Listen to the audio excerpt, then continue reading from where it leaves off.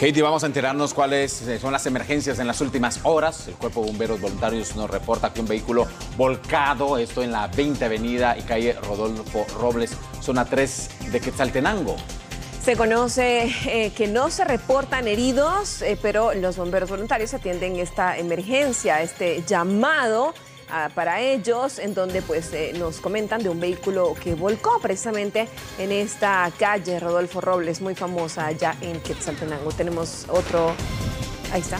Esto es la zona 3 de Quetzaltenango. Mira cómo quedó el vehículo completamente volcado. ¿Y sabes qué es lo, lo, curioso? Y como hemos mencionado que cuando esto sucede es por la velocidad en su mayoría. Y estas son calles, las calles de Quetzaltenango, pues no se prestan mucho para ellos. Si te das cuenta, son angostas, algunas con muchas piedras, algunas con túmulos. Es como chiquitito el carro, ¿verdad? No, o yo lo veo chiquito, es como un microbús, no, es, no es como sé. una panel, no.